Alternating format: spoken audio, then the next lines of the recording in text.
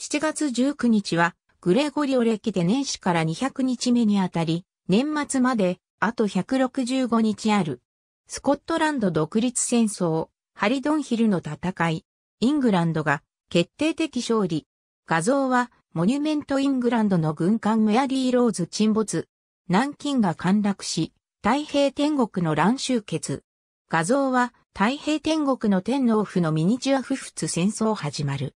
左画像は7月末の夫人、右は8月16日の戦闘パリ発の地下鉄、パリメトロ1号線開通。左画像は、当時のバスティーユ駅第一次世界大戦、フロメルの戦い始まる。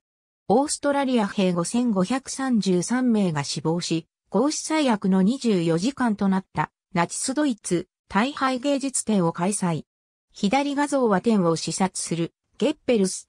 右は初回に展示されたフランツマルク、青い馬の塔、荻窪階段。画像左からこの F ミマロ、松岡洋介、吉田前後、東条秀樹。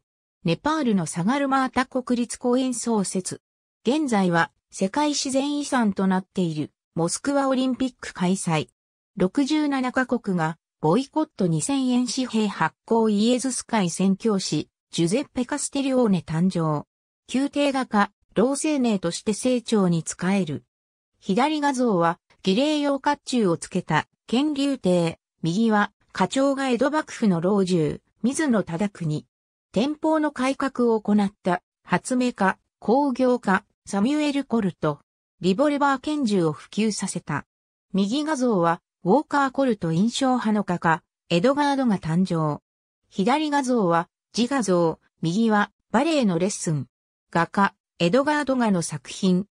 左画像は、フェルナンド・サーカスのララ城。右は、化粧室歌手、南春尾平家の武将、平宗森斬首メキシコ立憲皇帝であった、アグスティン・レイトルビで、射殺される。